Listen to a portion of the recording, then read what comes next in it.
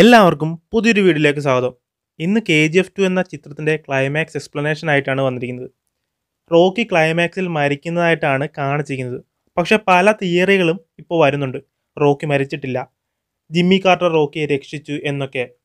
അത് എത്രത്തോളം പോസിബിൾ ആണെന്ന് ഒന്ന് നോക്കാം.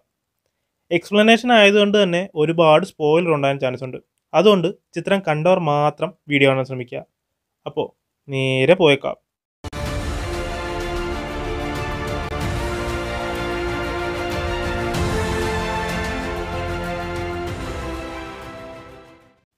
ക്ലൈമാക്സിൽ റോക്കി മരിക്കുന്നതായിട്ടാണ് കെ ജി എഫ് ചാപ്റ്റർ ടൂവിൽ കാണിച്ചിരിക്കുന്നത്. റോക്കി മരിച്ചു എന്ന് അക്സെപ്റ്റ് ചെയ്യാൻ പറ്റാത്ത കൊണ്ടായിരിക്കാം ഓരോ തിയറികൾ വരുന്നത്. റോക്കിയെ ജിമ്മി കാർട്ടർ രക്ഷിച്ചു കാണും. പിന്നെ റോക്കിയുടെ കയ്യിൽ ഇപ്പോഴും അമ്മ കെട്ടിക്കൊടുത്ത ചരട് കിടപ്പുണ്ട്? അതുകൊണ്ട് മരിക്കാൻ സാധ്യതയില്ല എന്നൊക്കെ. എന്റെ ഒരു അഭിപ്രായത്തിൽ റോക്കി മരിച്ച് എന്ന് തന്നെയാണ് എനിക്ക് തോന്നുന്നത്. ജിമ്മി കാർട്ടറിന്റെ കാര്യം എടുത്ത് നോക്കിക്കഴിഞ്ഞാൽ ആ ഒരു സീനിൽ മാത്രം ഒരു മാസ് കാണിക്കാൻ വേണ്ടി കൊണ്ടുവന്നതായിരിക്കാനേ സാധ്യതയുള്ളൂ. കാരണം രമികാസൻ എന്ന ക്യാരക്ടർ ഓർമ്മപ്പെടുത്തുന്നത് ഇന്ദിരാഗാന്ധിയാണ്. പക്ഷേ ആ ഒരു റിയൽ ക്യാരക്ടറിന്റെ പേര് എടുത്ത് പറഞ്ഞിട്ടില്ല. ജിമ്മി കാർട്ടർ എന്ന പേര് ഓൾറെഡി തന്നെ വെളിപ്പെടുത്തി കഴിഞ്ഞു. അതുകൊണ്ട് തന്നെ റോക്കിയെ പോലുള്ളൊരു ക്രിമിനലിനെ ജിമ്മി കാർട്ടർ സഹായിച്ചു എന്ന ചിത്രത്തിൽ കാണിക്കാൻ സാധ്യതയില്ല. അല്ലെങ്കിൽ ചിത്രത്തിൽ ജിമ്മി കാർട്ടർ എന്ന ഒറിജിനൽ പേര് വെളിപ്പെടുത്തുമായിരുന്നില്ല. ലോകത്തിലെ ഏറ്റവും വലിയ ക്രിമിനലിനെ ജിമ്മി കാർട്ടർ സഹായിച്ചു എന്ന് പറയുമെന്ന് എനിക്ക് തോന്നുന്നില്ല. അടുത്തതായി റോക്കിയുടെ കയ്യിലുള്ള അമ്മ കെട്ടിക്കൊടുത്ത ചരട് പോയിട്ടില്ല. അതുകൊണ്ട് തന്നെ റോക്കി ആ ചരട് ഉള്ളപ്പോൾ മരിക്കില്ല എന്ന് ചിലർ പറയുന്നുണ്ട്.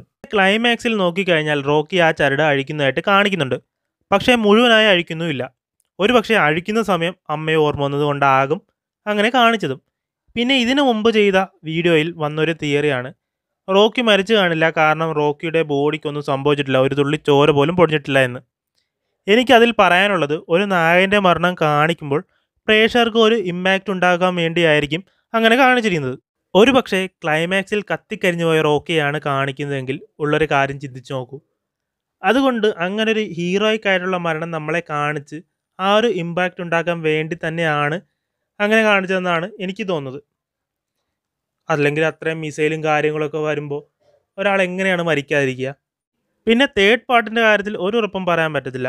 ഉറപ്പ് പറയാൻ പറ്റുന്നൊരു കാര്യം ആ ഒരു പ്രകാശ് രാജിന്റെ കഥാപാത്രം വായിക്കുന്നതൊന്നുമല്ല സത്യമെങ്കിൽ റോക്കി തിരിച്ചു വരും ഉറപ്പ്. പക്ഷേ അത് പ്രശാന്ത് നീലിന്റെ കയ്യിലാണ്. ഇത്രയും കാര്യങ്ങളാണ് ഇതിനെക്കുറിച്ച് എനിക്ക് പേഴ്സണലായിട്ട് തോന്നിയ കുറച്ച് കാര്യങ്ങൾ. നിങ്ങൾക്ക് ഇതിനെക്കുറിച്ച് എന്തെങ്കിലും തിയറി ഉണ്ടെങ്കിൽ കമന്റ് ചെയ്യുക അപ്പോൾ വീഡിയോ ഇഷ്ടപ്പെട്ടെങ്കിൽ ലൈക്ക് ചെയ്യുക ഷെയർ ചെയ്യുക.